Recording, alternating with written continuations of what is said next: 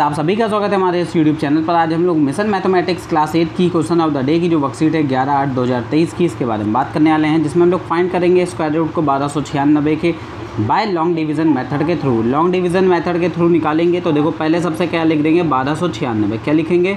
बारह सौ छियानबे और तीन बार में तीन सौ अगर इसको गुणा कर दें तो नौ आ जाएगा और बचेगा क्या? नौ सौ छिया, तीन सौ छियानबे बचेगा। फिर तीन को दो से गुणा कर देंगे छः आ जाएगा और देखो अगर इसी छः को हम क्या है, छः से, यानी छाछठ को क्या कर दें?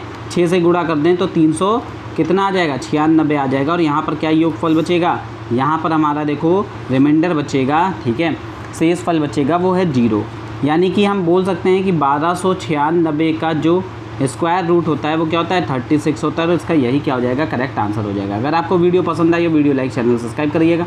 मिलते हैं आप सभी से नेक्स्ट वीडियो में। Okay bye